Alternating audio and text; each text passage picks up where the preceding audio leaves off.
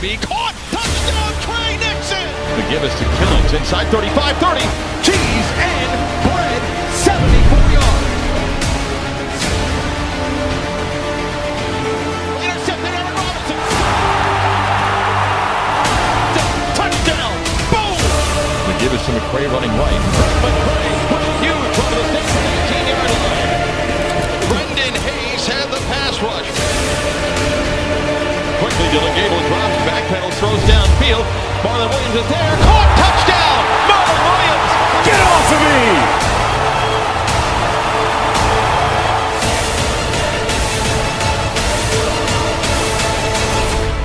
It's one play at a time. Here we go.